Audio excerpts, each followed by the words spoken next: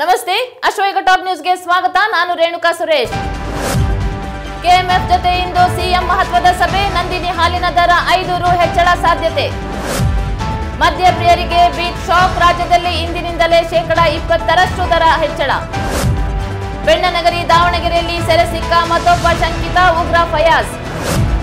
ಮಧ್ಯಪ್ರದೇಶದಲ್ಲಿ ಚುನಾವಣಾ ಪ್ರಚಾರ ಆರಂಭಿಸಿದ ಪ್ರಿಯಾಂಕಾ ಗಾಂಧಿ, ಸಿಂಧಿಯಾ ತವರಿನಿಂದಲೇ ಮತಬೇಟೆ ಯುಪಿಯ ಎಲ್ಲ ರೈತರಿಗೆ ಮುಖ್ಯಮಂತ್ರಿ ಖೇತ್ ಸುರಕ್ಷಾ ಯೋಜನೆ ಯೋಗಿ ಆದಿತ್ಯನಾಥ್. ಕಿಸಾನ್ ಸಮ್ಮಾನ್ ಯೋಜನೆಗೆ ರಾಜ್ಯದ ಪಾಲು ಸ್ಥಗಿತಗೊಳಿಸಿದ ಸರ್ಕಾರ ರೈತರಿಗೆ ಇನ್ನು ಮುಂದೆ ಸಿಗಲ್ಲ ನಾಲ್ಕು ಸಾವಿರ.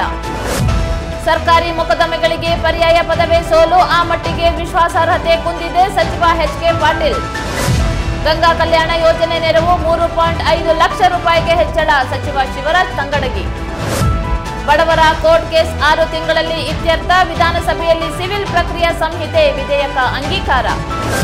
ದಲಿತರ ಭೂಮಿ ವಾಪಸ್ ಕೊಡಿಸುವ ಬಿಟಿಸಿಎಲ್ ತಿದ್ದುಪಡಿ ಕಾಯ್ದೆಗೆ ಅನುಮೋದನೆ. ಸದನಕ್ಕೆ ಸಿಎಂ ಸುಳ್ಳು ಹೇಳಿದ್ದಾರೆ. ಸ್ಪೀಕರ್ ಏಕಪಕ್ಷೀಯವಾಗಿ ವರ್ತಿಸುತ್ತಿದ್ದಾರೆ ಎಚ್ಡಿ ಕುಮಾರಸ್ವಾಮಿ. ಸರ್ವಾಧಿಕಾರಿ ಸ್ಪೀಕರ್ ಎಂದು ಸಾಬೀತುಪಡಿಸಿದ್ದೀರಿ. ಖಾದರ್ಗೆ ಪತ್ರ ಬರೆದ ಸುನಿಲ್. ವಿಪಕ್ಷ ನಾಯಕ ಸ್ಥಾನ ಸಿಗಲಿಲ್ಲ ಅಂತ ಯತ್ನಾಲ್ ಕುಸಿದು ಬಿದ್ದಿದ್ದಾರೆ ಎಂ ಲಕ್ಷ್ಮಣ್. ಕೆಳದಿ ವಿಶ್ವವಿದ್ಯಾನಿಲಯದಿಂದ ಬಿಎಸ್ ಯಡಿಯೂರಪ್ಪಗೆ ಇಂದು ಗೌರವ ಡಾಕ್ಟರೇಟ್ ಪ್ರದಾನ. ಖಾನಾಪುರದಲ್ಲಿ ವರುಣನ ಅಬ್ಬರ ತುಂಬಿ ಹರಿಯುತ್ತಿರುವ ಮಲಪ್ರಭೆ.